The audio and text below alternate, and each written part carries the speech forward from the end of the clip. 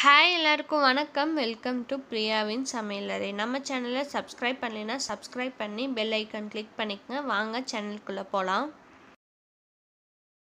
இன்றைக்கி நம்ம சேனலில் பாலக் சப்பாத்தி தாங்க பார்க்க போகிறோம் இந்த சப்பாத்தி வந்து பாலக்கீரை வச்சு செய்ய போகிறோங்க வாங்க எப்படி செய்கிறதுன்னு பார்க்கலாம். நான் இன்றைக்கி ஒரு கட்டு கீரையை க்ளீன் பண்ணி கழுவி நறுக்கி வச்சுருக்குறேங்க.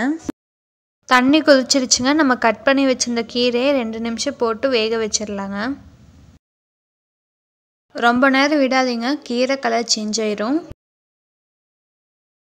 பாருங்கள் ரெண்டு நிமிஷம் ஆயிடுச்சு. வடித்து எடுத்து ஆற வச்சிடலாங்க தண்ணியை வேஸ்ட் பண்ணிடாதீங்க மாவு பன்னீருக்கு யூஸ் பண்ணிக்கலாங்க.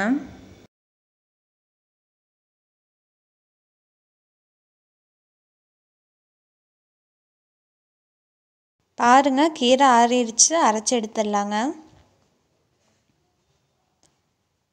இது கூட ஒரு பச்சை மிளகா. மூணு பல் பூண்டு ஒரு இன்ச் இஞ்சி போட்டு தண்ணி ஊற்றாமல் ஃபைன் பேஸ்ட்டாக அரைச்சி எடுத்துடலாங்க. அரைச்சி எடுத்தாச்சுங்க மாவு பிசைய ஆரம்பிச்சிடலாங்க. நான் இன்றைக்கி ரெண்டு கப் கோதுமை மாவு எடுத்துருக்குறேங்க. இது கூட உப்பு தேவையான அளவு. கரம் மசாலா ரெண்டு டீஸ்பூன். எண்ணெய் ரெண்டு டீஸ்பூன் ஊற்றி நல்லா மாவை கலந்து விட்டுக்கலாங்க.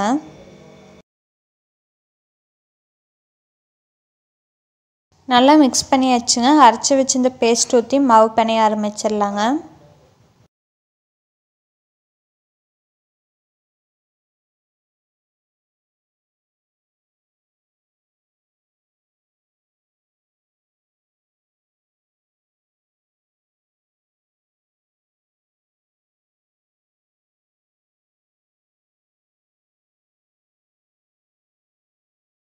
பாருங்கள் மாவு நல்லா பிணைஞ்சாச்சு. பத்து நிமிஷம் மூடி வச்சிடலாங்க.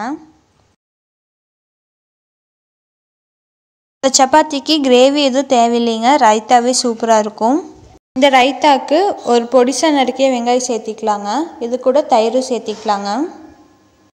உப்பு சேர்த்து நல்லா மிக்ஸ் பண்ணிக்கலாங்க.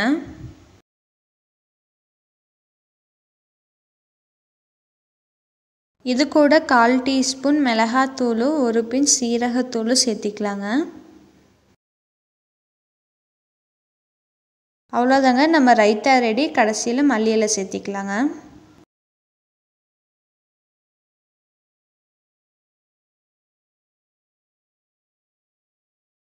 பாருங்கள் சூப்பராக நம்ம சப்பாத்தி மாவு சாஃப்டாக ரெடியாக இருக்குது. கல் காஞ்சிருச்சு சப்பாத்தி போட ஆரம்பிச்சிடலாங்க. எப்போ செய்கிற சப்பாத்தி மாற உருட்டி தேய்ச்சி போட்டுடலாங்க.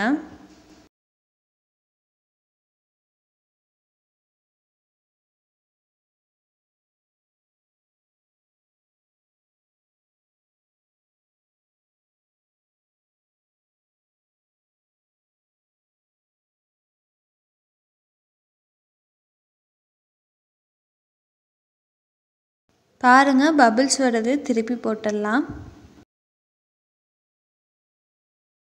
நான் இன்றைக்கி நெய் விட்டுருக்குறேங்க. நெய்க்கு பதிலாக நீங்கள் எண்ணெயோ இல்லை பட்டரோ விட்டுக்கலாங்க.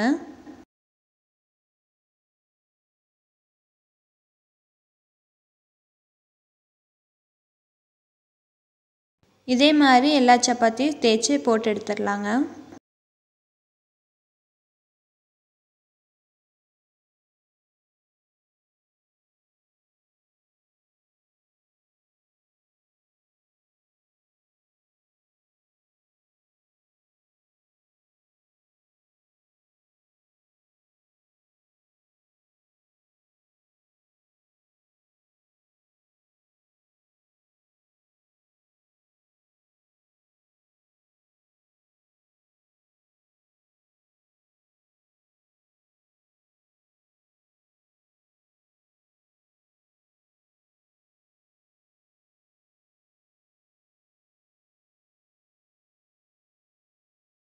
பாருங்கள் நம்ம சப்பாத்தி சூப்பராக க்ரீனிஷாக ரெடி ஆயிடுச்சுங்க.